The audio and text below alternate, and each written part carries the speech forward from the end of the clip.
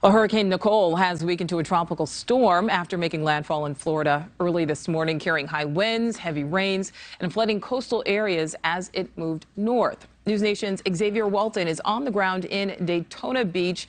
Xavier, how is it out there right now?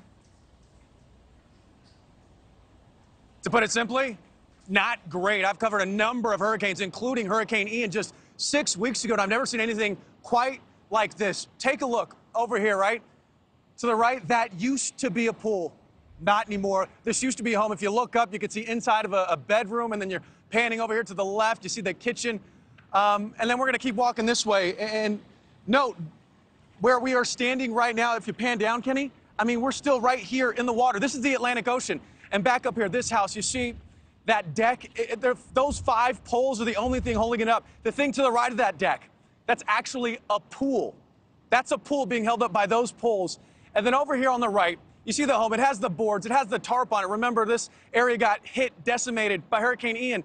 Uh, but the bottom fell out. And then when you look over here at the bottom, you know, you see the, the refrigerator, you see the toilet, you see the, the microwave. Th these are families' homes. And then as we come over here, Kenny, I want to paint this picture for people because this concrete slab here, this what is this is what is left of the seawall. This used to be a seawall. So think about that. 50 feet that way, the ocean literally, Nicole wiped it away. Now, I spoke to a woman, doesn't even live here, and she says she is just devastated because this community is so tight knit. Uh, she was down here just walking the beach almost in tears. That's how devastated she was. And when you see damage uh, like this and you pan around again, I mean, think about that.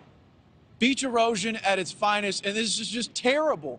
Um, when you talk to people, they said, you know, we're going to rebuild, but I don't know how they uh, how they're going to do that. And Nichole, that that is that is what people here, that is what families are dealing with, and, and honestly, you just have to feel for them. Yeah, absolutely. The pictures really tell the story out there. Okay, Xavier, thank you. Thank you for watching. Go to newsnationnow.com to find News Nation on your television provider. And don't forget to click the red subscribe button below to get more of News Nation's fact driven, unbiased coverage.